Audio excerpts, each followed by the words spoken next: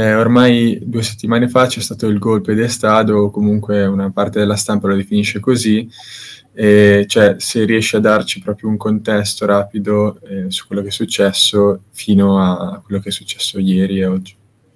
Allora, io non credo che sia di fatto un colpo di Stato, credo che sia una continuazione di quello che sta accadendo in Ecuador ormai da anni.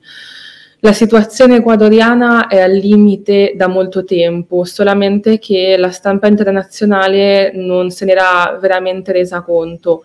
Ora, il primo campanello d'allarme grosso che ha fatto mh, girare diciamo, eh, le immagini e il problema dell'Ecuador su tutti i giornali internazionali è stato l'assassinio di Villavicencio, quindi un candidato presidenziale che è stato eh, ucciso, eh, freddato proprio, una vera e propria esecuzione durante le ultime elezioni. Quindi diciamo se si arriva ad uccidere un candidato in, in un uh, paese democratico vuol dire che comunque il narcotraffico è arrivato veramente alle più alte sfere di potere. Parlo di corruzione e infiltrazione del, del potere tanto dell'apparato eh, statale quanto di quello militare.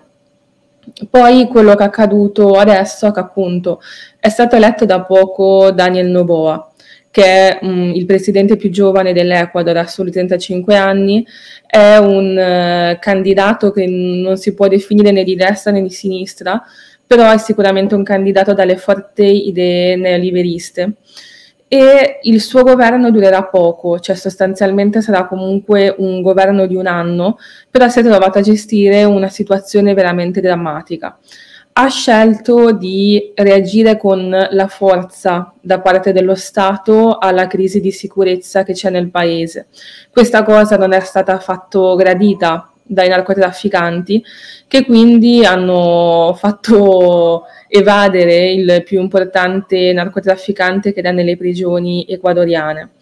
E nel momento in cui è scappato c'è stata una forte risposta da parte dello Stato e da parte dei narcotrafficanti c'è stata una risposta ancora più forte perché sostanzialmente hanno iniziato a rapire le persone in massa, tipo nelle università, soprattutto a Guayaquil, che è la città più pericolosa dell'Ecuador, hanno iniziato a uccidere, fare rapine molto violente, fino ad entrare appunto in diretta nello studio televisivo. E a quel punto Daniel Novoa si è visto anche costretto, diciamo, a dichiarare lo stato di emergenza, riconoscendo che c'è un vero e proprio conflitto in atto in Ecuador contro le bande armate.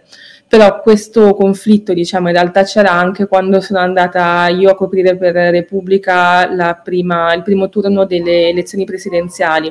C'era già un conflitto in atto solamente i giornali non avevano dato tanto risalto alla cosa e invece io volevo chiederti Um, in seguito poi all'evasione di, di Fito e Capitan Pico, insomma due nomi non sconosciuti nel, nel panorama dell'Ecuador, in carcere poi sono scoppiate delle rivolte che mh, probabilmente sono connesse a dei regolamenti tra bande criminali. E qual è la situazione quindi delle gang in Ecuador e di cosa si occupano eh, a livello internazionale, a chi sono legati? Eh, perché ci sono stati poi questi scontri nelle carceri? Allora, in Ecuador in questo momento ci sono le gang legate al narcotraffico più potenti a livello mondiale. Quindi ci sono le mafie italiane, sicuramente l'andrangheta che è stata documentata che sia in Ecuador, ci sono i cartelli messicani più pericolosi al mondo, ci sono anche quelli colombiani e peruviani, c'è anche la mafia albanese per dire. Quindi in questo momento in Ecuador c'è veramente chiunque legato al narcotraffico, perché comunque è il paese che è diventato il corridoio principale da cui parte soprattutto la cocaina diretta verso l'Europa. Nelle carceri la situazione è drammatica e non è da adesso, cioè le carceri sono la chiave per capire la drammaticità della eh, crisi di sicurezza che sta vivendo il paese, perché sostanzialmente è stato dalle carceri che ha iniziato accadere tutto. Cioè, i, adesso da anni, quando una persona entra nel carcere, non finisce nelle mani delle guardie carcerarie, ma finisce nelle mani dei narcotrafficanti. Quindi i narcotrafficanti da dentro le prigioni reclutano eh, nuovi adepti, diciamo, che vengono anche inclusi in modo eh, forzoso dentro le nuove bande e in più dirigono tutte le operazioni all'esterno, quindi le carceri ecuadoriane di fatto sono gli uffici delle gang dei narcotrafficanti. Quindi eh, gli scontri dentro alle carceri avvengono sempre perché appunto quando magari c'è un problema di potere fra due bande iniziano a scontrarsi all'interno delle prigioni. E inoltre quando ci sono queste situazioni di caos all'esterno, la prima cosa che fanno è fare delle rivolte interne, quindi costringere anche gli altri eh, detenuti che appunto magari non sono neanche legati al crimine organizzato a ribellarsi, a uccidere de- degli altri detenuti e a prendere in ostaggio le guardie carcerarie, quindi da quando è scoppiata questa situazione emergenziale sono centinaia le guardie carcerarie che sono tenute ostaggio all'interno delle prigioni ecuadoriane. A riguardo, ehm, noi abbiamo in mente eh, un'idea di narcotrafficante un po' eh, filmografata, per cui che agisce in un certo modo. Cosa vuol dire ehm, appunto fare i conti col narcotraffico per un cittadino equadoregno? Quali sono gli ambiti in cui appunto agiscono? La vita dei cittadini ecuadoriani in questo momento è completamente mh, influenzata dal narcotraffico, nel senso che tanto a Quito come a Guayaquil, quindi le città più grandi del paese, le persone escono dal lavoro e vanno dirette a casa. Quindi comunque se si cammina per le città dalle 4 di pomeriggio in poi sono completamente svuotate. C'è anche l'idea di andare a un ristorante alla sera in questo momento è estremamente proibitiva e tutti ti sconsigliano di farlo. Ad esempio, io sono stata all'Hilton quando mi ha inviato Repubblica e davanti all'Hilton tutto il viale era bloccato, cioè per evitare sequestri sotto proprio all'hotel la polizia aveva bloccato tutta la strada e ogni volta che si usciva dall'hotel comunque il tassista o il tuo autista privato doveva controllare ad ogni angolo che non ci fossero delle macchine pronte a sequestrarti perché i sequestri comunque sono veramente all'ordine del giorno, tanto per gli stranieri quanto per i cittadini comuni. Eh, in più, qualsiasi persona che abbia un'attività commerciale, anche la più informale, anche la più piccola, deve pagare la vacuna. Con vacuna si intende il pizzo, però è molto importante che venga chiamata così, perché sostanzialmente la chiamano vacuna, vaccino, vaccino. Eh, esatto. perché è l'unico modo per sopravvivere sostanzialmente. E in più eh, i cittadini ecuadoriani non devono solamente proteggersi dal narcotraffico, ma anche dalle forze armate, perché ad esempio ci sono stati decine di casi di falsos positivos, cittadini qualsiasi che vengono uccisi dalle forze armate che poi li definiscono come appartenenti al narcotraffico che hanno posto resistenza nel momento dell'arresto, ma in realtà erano cittadini qualsiasi che sono stati uccisi per errore. Quindi la vita degli ecuadoriani in questo momento è completamente stravolta dai narcotrafficanti. Okay.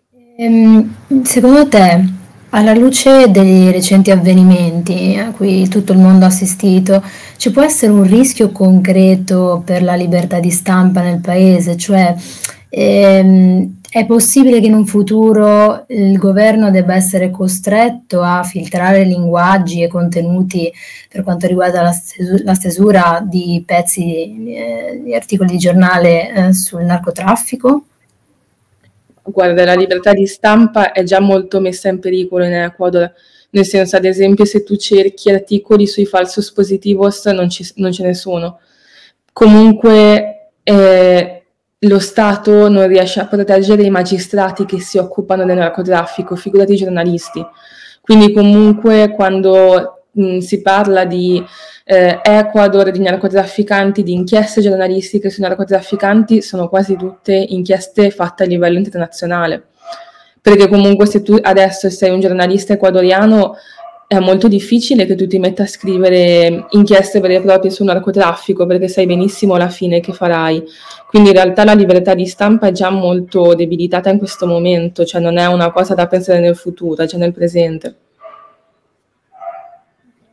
Capito.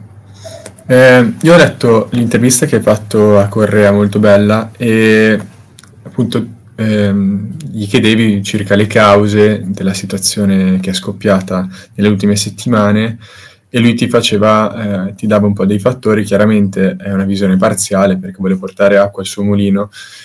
Tu con gli elementi che hai, un quadro più completo, quali pensi che possano essere le cause? Chiaramente è difficile, però in maniera, cioè cercando di, di riconoscere un po' dei fattori.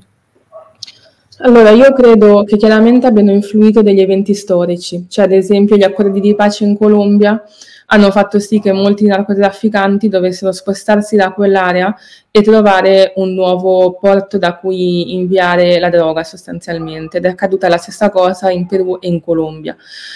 Credo che poi quello che sia successo è che l'Ecuador non era affatto preparato a quello che sarebbe successo, perché storicamente sì, hanno sempre avuto dei problemi legati al narcotraffico, ma molto molto piccoli.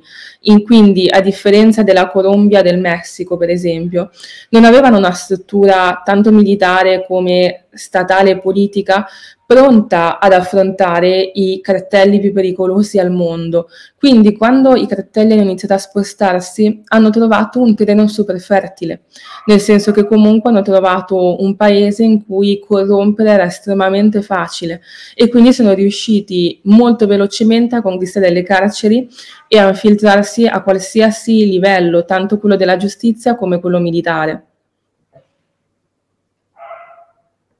Invece, informandomi appunto sulla, sulla situazione della criminalità, eh, abbiamo notato che mh, in sei anni il tasso di, di, criminalità del paese è cresciuto di sette volte. Mh, quali sono le cause, secondo te, che hanno portato a questa situazione così critica?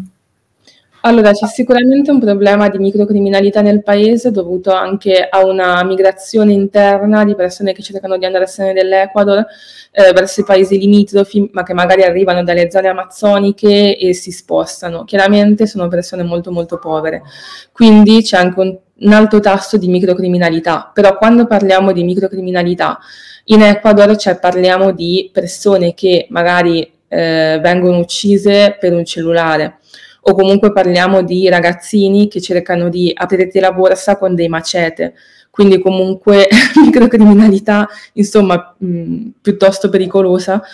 E questa microcriminalità è dovuta anche a una grossa crisi economica, cioè ad esempio quello che ha fatto il governo di Corea è stato cercare di far crescere il paese dal punto di vista economico, soprattutto andando a combattere la fame e la povertà nelle classi più disagiate del paese, anche per combattere il narcotraffico perché il narcotraffico si nutre di situazioni eh, di disagio sociale.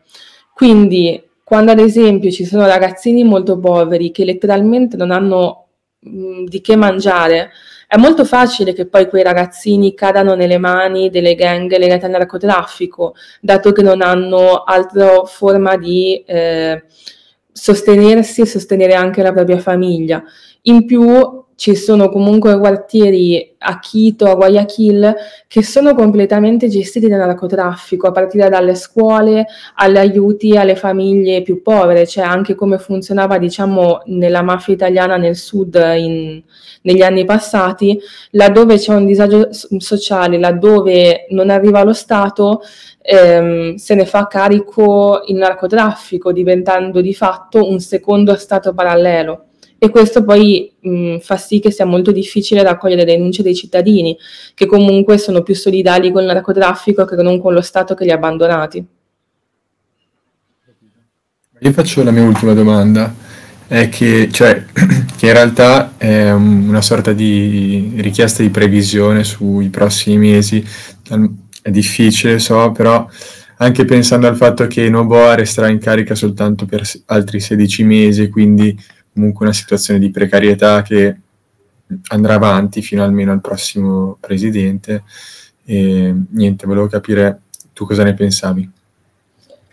Eh, vabbè, chiaramente avere un governo che dura di fatto cioè un anno e mezzo, quindi è niente, la situazione non potrà risolversi. E quindi io credo che andrà peggiorando, purtroppo. Credo che questo sia solo l'inizio e anche perché è veramente una situazione che va avanti da tanto tempo e che sembra irrisolvibile. Io credo che sia importante anche da parte dei governi europei prendere atto di quello che provocano i nostri consumi, nel senso comunque la richiesta di cocaina in Europa è sempre in crescita. E l'Ecuador è messo così perché moltissimi cittadini europei il sabato sera sniffano cocaina, quindi anche il fatto che evidentemente non prendiamo abbastanza sul serio questo tipo di indagini, non blocchiamo abbastanza i container che arrivano dall'Ecuador, ha portato a questa situazione, anche perché per combattere il narcotraffico serve comunque un, un coordinamento a livello na- internazionale, cioè non è una cosa che può fare l'Ecuador da solo. E quindi purtroppo la situazione io la vedo drammatica.